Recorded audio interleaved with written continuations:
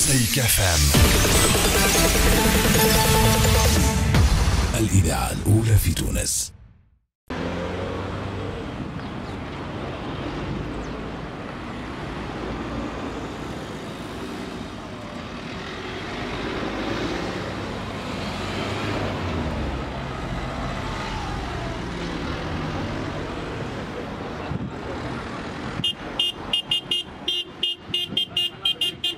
تونس يا تونس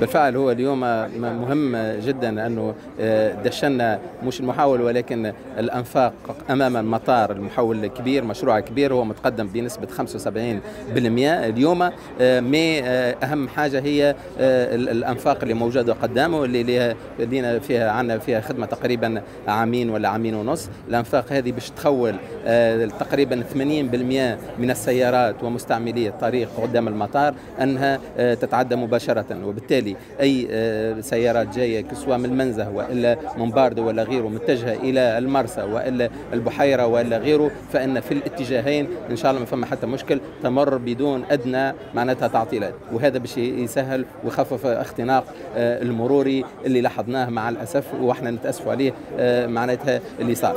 تبقى توا نحب نأكد على حاجة. هذه خطوة كبيرة ونشكر كل المدخلين كسوا المقاول لكل المدخلين ومكاتب الدراسات ومكاتب المراقبة والإدارات الجهوية والإدارة المركزية وكل المدخلين وحتى المستلزمين العموميين للتسريع في هذه في هذه الأشغال. ولكن أكد أنه المشروع ما زال متواصل ما زال له بعض الأشهر فأنه بطبيعة الحال توخي الحذر في استعمال الطريق ولكن خطوة كبيرة برشا نهنيو بها التوانسة لأنه هذا في وجه تونس في وجه المطار وهذا مهم جدا مشروع على غاية من الأهمية في العاصمة.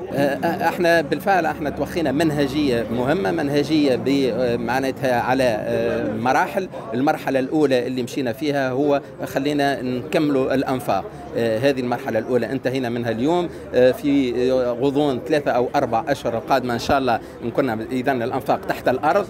توا فوق الأرض مباشرة وبالتالي les giratoires les ronds-points اللي قدام المطار وإحنا déjà بدينا وتشوفوا فما معناتها معناتها deux ronds-points مهيئين معناتها تهيئة حتى آه، معناتها مناطق خضراء وغيره. هذه باش تنتهي إن شاء الله في غضون ثلاثة أو أربع أشهر في أول 2020 وعندنا قناطر مهمة جدا وهذه زدناها آه، في المشروع باش تهزنا من قدام المطار إلى طريق سكرة وإلى الشرقية. هذه بحول الله تنتهي في منتصف 2020 فإنه المشروع بتمامه وكماله اللي تكلفنا تقريبا 60 مليون دينار آه، سوف يكون جاهز بحول الله في بداية شهر جويلية القادم 2020 إن شاء الله.